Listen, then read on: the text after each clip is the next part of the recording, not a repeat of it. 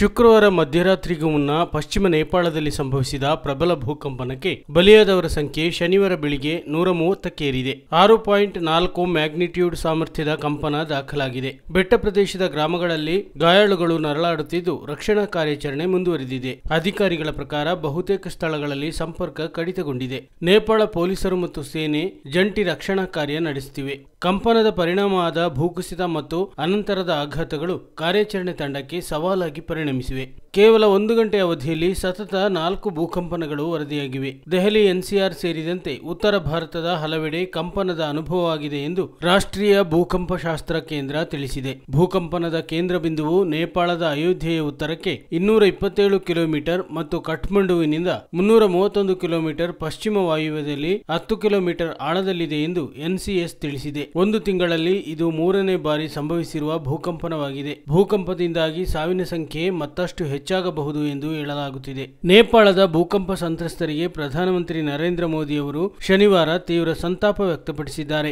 ಭಾರತವು ತನ್ನ ನೆರೆಯ ರಾಷ್ಟ್ರ ನೇಪಾಳದ ಬೆಂಬಲಕ್ಕೆ ನಿಂತಿದೆ. ಸಾಧ್ಯವಿರುವ ಎಲ್ಲ ನೆರವುಗಳನ್ನು ನೀಡಲು ಸಿದ್ಧವಾಗಿದೆ ಎಂದು ಮೋದಿ ಹೇಳಿದ್ದಾರೆ.